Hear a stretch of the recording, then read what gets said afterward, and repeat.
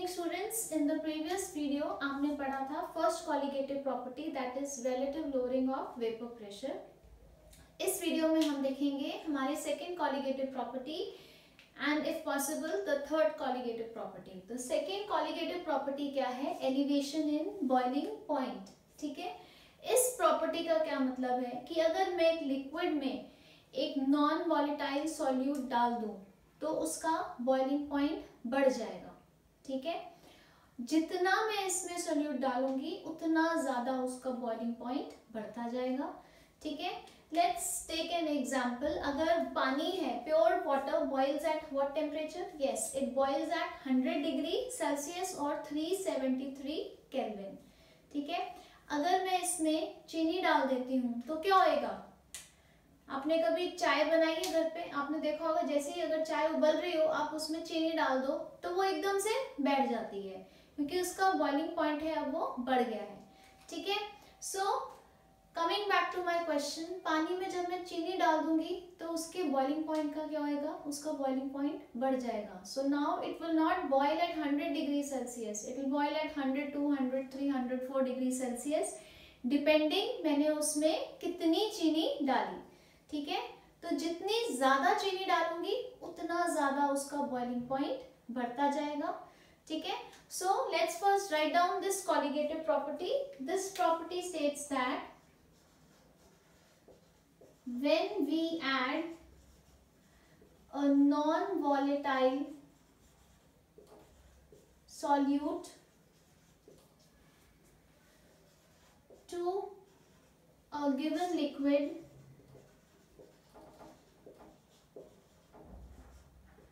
its boiling point increases.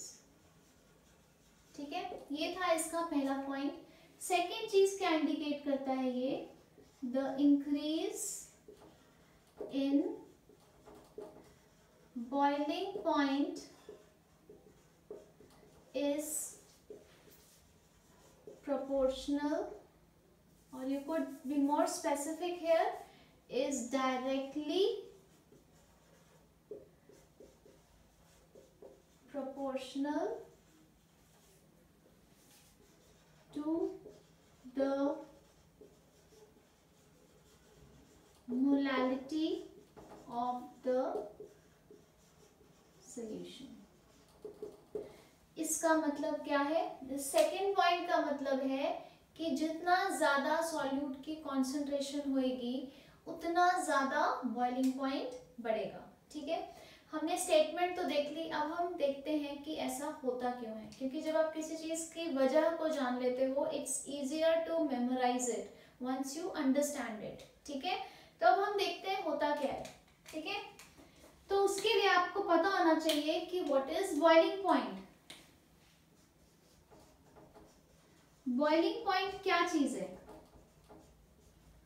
ठीक है? अगर हम बहुत लेमैन भाषा में इसको समझें तो बॉइलिंग पॉइंट क्या टेम्परेचर है? जिस टेम्परेचर पे लिक्विड जो है, वो गैस में बदल जाता है। ठीक है? राइट सो जिस टेम्परेचर पे वेपराइजेशन हो रही है। Right right? अगर हम इसको टेक्निकली समझें in terms of pressure then what is boiling point it is the temperature at which vapor pressure becomes equal to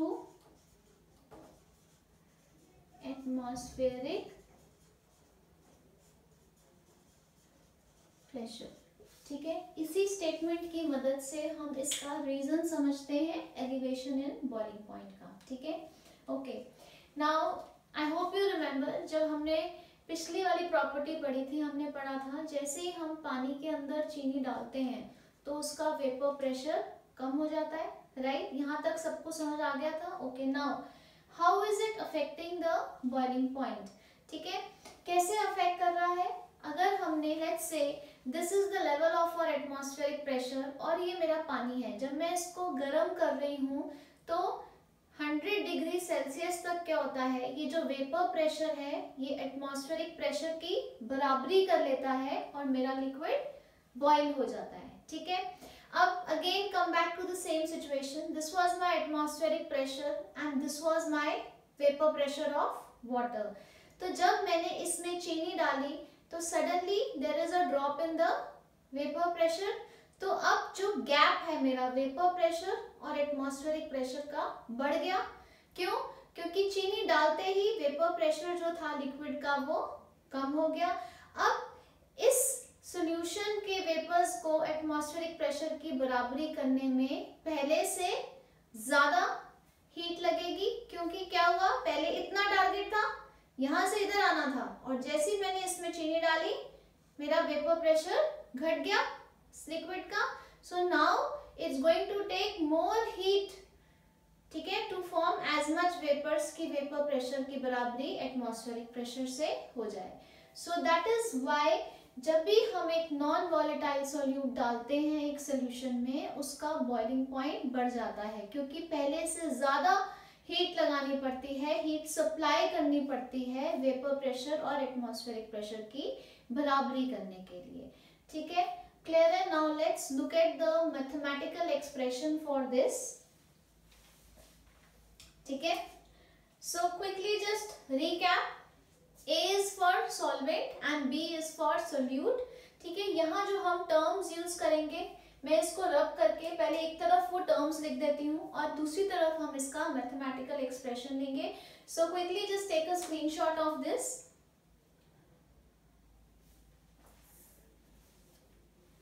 okay, great. So first, let's just list down the terms. कोई भी derivation करने से पहले बड़ा ज़रूरी है कि आपको पता होना चाहिए फॉर्मूला में डिफरेंट चीज़ें डिनोट क्या कर रही हैं? If you are able to understand that आपको न्यूमेरिकल सॉल्व करना आसान हो जाएगा। ठीक है? So let's make a list delta T B delta means change T is temperature B is boiling so ये क्या हो गया? चेंज इन बॉइलिंग पॉइंट ठीक है? उसके बाद आ जाते हैं M M stand for all of you know this molality ठीक है? उसके बाद आ जाते हैं K B this is a constant that we are going to use here it is known as ebullioscopic constant और molar elevation in boiling point constant. ठीक है? अब आ जाते हैं W A it is the given mass of the solvent मतलब आपने कितना सॉल्वेंट लिया? M A is the molecular mass of the solvent ठीक है? W B is the given mass of the solute या आपने सॉल्यूट कितना लिया है? M B is the molecular mass of the solute ठीक है so basically we have covered more or less all the terms ठीक है so ये property क्या कहती है the elevation in boiling point that is boiling point कितना बढ़ेगा that is directly proportional to molality of the solution मतलब जितना ज़्यादा मैंने चीनी डाली, उतना उस शुगर एंड वाटर सोल्यूशन का बॉइलिंग पॉइंट बढ़ गया ठीक है और delta T B equals to K B M ठीक है यहाँ तक क्लियर है where Kb is the ebullioscopic constant. Clear है? Okay Okay. Now, यहाँ पे एक छोटा सा ब्रेक लेते हैं और यहाँ पे हम के बी को डिफाइन करते हैं। तो if my molality is one that is if my solution is an molar solution one molar solution मतलब one mole of solute dissolve in thousand grams of solvent ठीक है?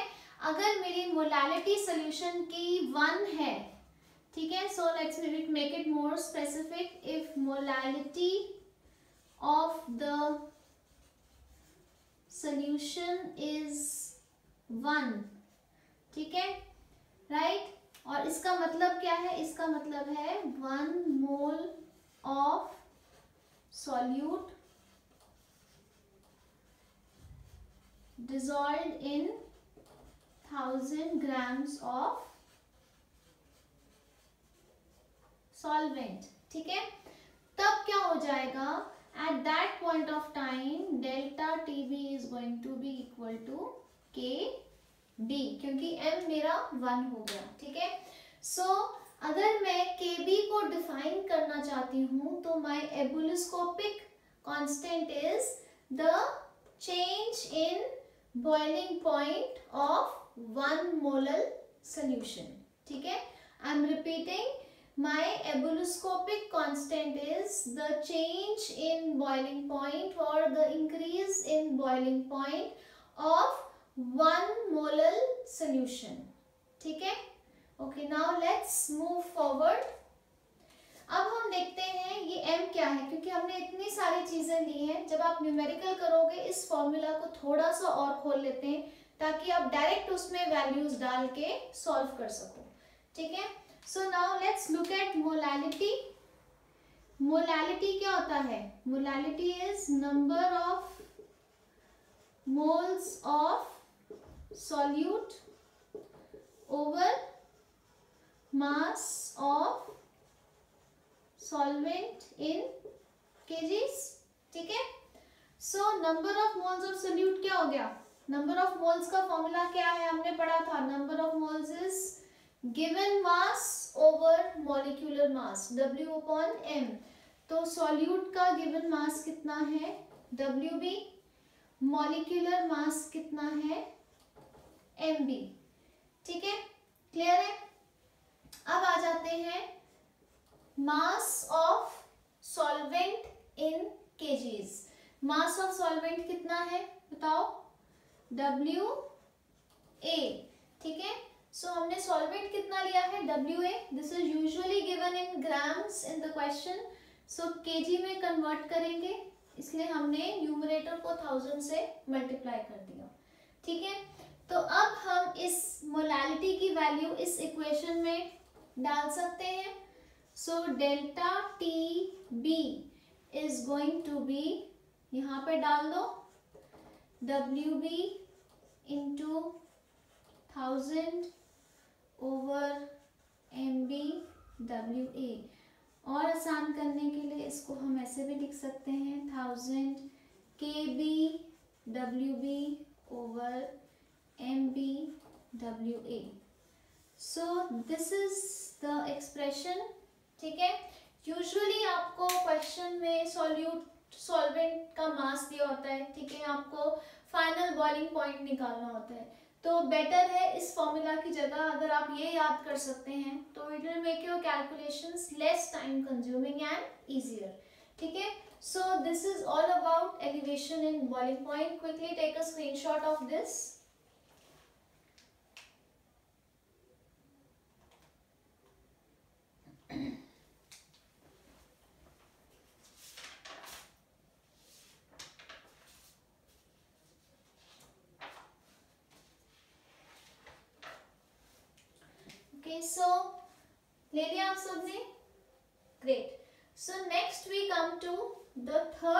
colligative property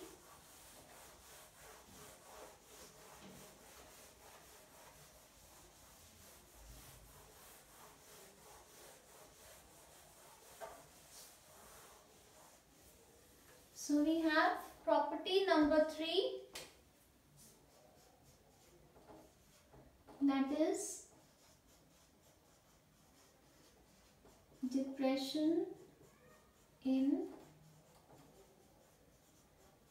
freezing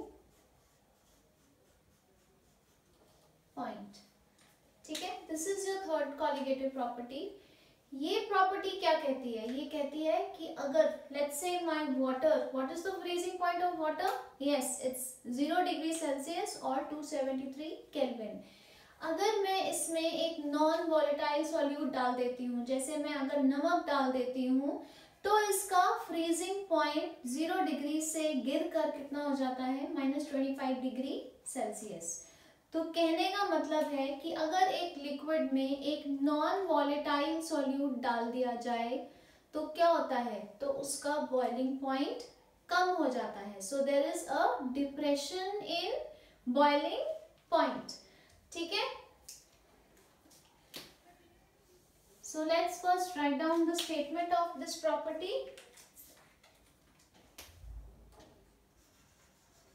When we add a non-volatile solute to a liquid there is a depression in its freezing point. ठीक है?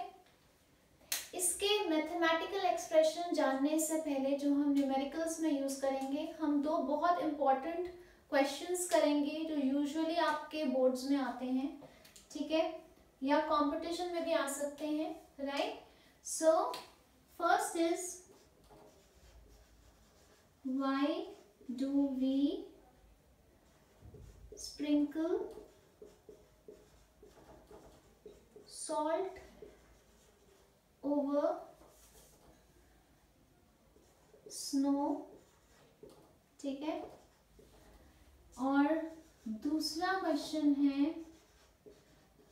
What is anti freeze ठीक है can give example ठीक है? सबसे पहले हम पहले क्वेश्चन पे आते हैं। पहला क्वेश्चन क्या है? जो कोल्ड कंट्रीज़ हैं जहाँ सब ज़ीरो मतलब जहाँ पे माइनस ट्वेंटी माइनस थर्टी इतना कम टेम्परेचर हो जाता है तो वहाँ क्या होता है? बर्फ़ जम जाती है। ठीक है? सो so, अब बर्फ़ के ऊपर गाड़ियाँ भी स्लिप हो सकती हैं लोग भी स्लिप हो सकते हैं। तो लोगों को शॉवल से बर्फ़ को हटाना होता है। And it is a very tedious task ठीक है? क्योंकि बर्फ़ जैसे जैसे ओल्ड होती है, वो सख्त होती जाती है। तो क्या करते हैं वो? वो लोग जो है, बर्फ़ पे काफ़ी सारा सॉल्ट छिड़क देते हैं। तो सॉल्ट क्या है? एक नॉन वॉलेटाइल सोल्यूट है, जिसकी वजह से पानी का फ्रीजिंग पॉइंट एकदम गिर जाता है, ठीक है? कितना हो जाता है? Minus twenty five degree Celsius तक चल जाता है। ठीक है? सो क्या आएगा? सडनली क्या आएगा? जो आपकी बर्फ़ जमी हुई थी वो मेल्ट होनी शुरू हो जाएगी और बिल्कुल सॉफ्ट हो जाएगी, जिससे शॉवल मारना आसान हो जाएगा, ठीक है? सो फ़र्स्ट क्वेश्चन का क्या आंसर है? नमक डालने से क्या आएगा? पानी का फ्रीजिंग पॉइंट कम होके minus twenty five degree Celsius तक हो जाएगा, जिससे वो पिघल जाएगी और आप आसानी से अपना ड्राइववे या रोड्स वगैरह साफ़ कर सकते हो, ठीक है? Clear second is what is antifreeze give one example okay anti usually आपके कार के रेडिएटर्स में डाला जाता है। अगेन कोल्ड कंट्रीज़ में क्या होता है? जो पानी चल रहा है रेडिएटर में पानी होता है, वो क्या करता है? वो इंजन को ठंडा कर रहा है। ठीक है? सो वो भी जम जाता है राइट तो क्या होएगा? इंजन चलते चलते गर्म हो जाएगा और उसको ठंडा करने के लिए एक लिक्विड जो है, वो सर्कुलेट नहीं कर रहा है, जिससे आपकी गाड़ी बैठ जाएगी, रुक जाएगी, ठीक है? तो जब हम इसमें एंटी फ्रीज नाम से पता लग रहा है फ्रीज होने से रोकना, जब हम इसमें एंटी फ्रीज डालेंगे तो जो फ्रीजिंग पॉइंट है, वो अगेन ड्रॉप हो जाएगा, ठीक है? और पानी जो है, वो जमेगा नहीं पाइप्स में, ठीक है? जिसकी वजह से पानी जो है रेडिएटर की पाइप में इंजन के आसपास घूमता रहेगा और उसको ठंडा करता रहेगा right so one example of antifreeze is ethylene glycol. ठीक है? अब हम आते हैं इसके मैथमेटिकल एक्सप्रेशन पे, ठीक है? Most of the terms that we have taken for the boiling point remain same जो दो टर्म्स डिफरेंट हैं, वो क्या है? वो मैं लिख देती हूँ। First is delta T F वहाँ डेल्टा टी बी था, यहाँ पे क्या है? Delta T F this is the change in freezing point या the depression in freezing point और दूसरी टर्म क्या थी? के एफ़ वहाँ पे क्या था? के बी जो एबुलिस्कोपिक कांस्टेंट था, यहाँ पे क्या है? K F it is known as cryoscopic constant और molal depression, in freezing point constant ठीक है? ओके नाउ बिल्कुल सिमिलरली डिराइव करेंगे। That is delta T F is going to be directly proportional to molality इसका मतलब है कि जितना ज़्यादा मैं नमक डालती जाऊँगी, उतना ज़्यादा उसका फ्रीजिंग पॉइंट कम होता जाएगा। ठीक है? सो और delta T F would be equal to K F into M where K F is your cryoscopic constant बिल्कुल सेम तरीके से के एफ़ को डिफाइन करेंगे, जैसे हमने किया था पहले। If molality is one that is if I have a one molal solution then delta T F will be equal to K F so my cryoscopic constant is the change in freezing point of one molal solution ठीक है? वापस आ जाते हैं derivation पे। सो so, आपकी molality क्या हो जाएगी? जैसे हमने पहले किया था बिल्कुल सेम करना है। Molality is going to be number of moles of solute that is W B upon M B ठीक है? Over mass of solvent in kgs इसलिए हमने न्यूमरेटर को थाउज़ेंड से मल्टीप्लाई कर दिया क्योंकि ये ग्राम्स में दिया होगा आपको क्वेश्चन में right so put this value in the equation so delta T F क्या बन गया आपका? W B sorry K F into W B into thousand over M B into W A और more easily you can say thousand K F W B over M B W A ठीक है? Clear है? So take a screenshot of this clear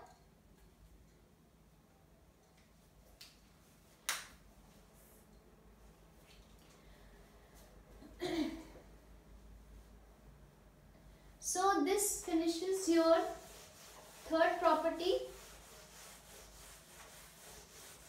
हम एक छोटा सा table बना लेते हैं।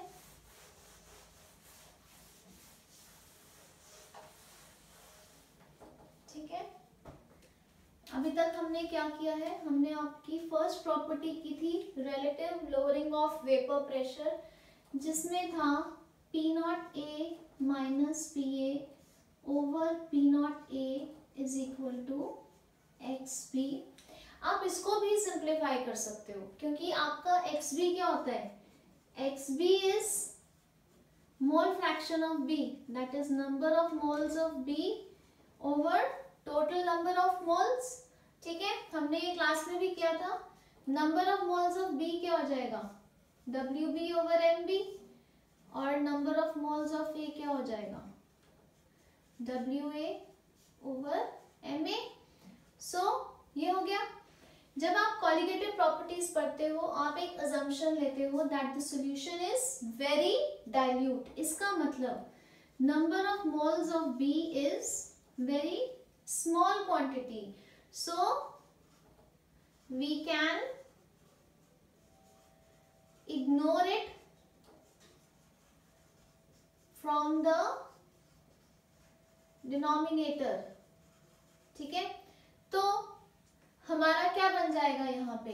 This is going to be W B over M B ठीक है? और इसको डिवाइड कर दो over W A over M A so in the next step you can cross multiply and take it upwards तो क्या बन गया यहाँ? W B M A over M B W A so याद करने का तरीका B A B A W M M W तो सबसे ज़्यादा फॉर्मूला इसका relative lowering of vapour pressure का क्या यूज़ होता है? आपका W B M A over M B W A ठीक है? So one formula is this that is used and second formula is जो आपने पहले किया था P naught A minus P A over P naught A is equal to X B ठीक है? अब आ जाते हैं सेकेंड प्रॉपर्टी जो हमने अभी पढ़ी that was elevation in boiling point क्या फॉर्मूला था? Delta T B is K B into M K B was ebullioscopic constant M was molality इसी फॉर्मूला को हमने रिफाइन करके इसी की सेकेंड वर्जन क्या पढ़ी थी? फॉर्मूला की, इसके नीचे लिख लेते हैं थोड़ा सा सिमेट्री रहेगी। So delta T B is thousand K B W B over M B W A ठीक है? उसी तरह तीसरा जो हमने पढ़ा था delta T F K F into M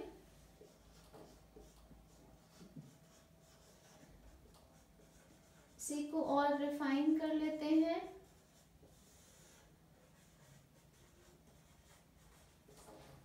ठीक है so this finishes three of our properties in the next video we are going to learn about the fourth property osmotic pressure उसका अलग वीडियो इसलिए बना रहे हैं क्योंकि उसके प्रैक्टिकली काफ़ी सारे क्वेश्चंस आ सकते हैं आपके बोर्ड्स में, ठीक है? Over and above the main formula ठीक है?